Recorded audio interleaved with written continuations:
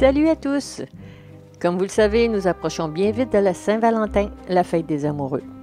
Avez-vous déjà pensé comment montrer l'importance de vos sentiments à la personne qui partage votre vie amoureuse? Pourquoi pas à l'aide d'un vidéoclip personnalisé? Informez-vous et composez le numéro au bas d'écran.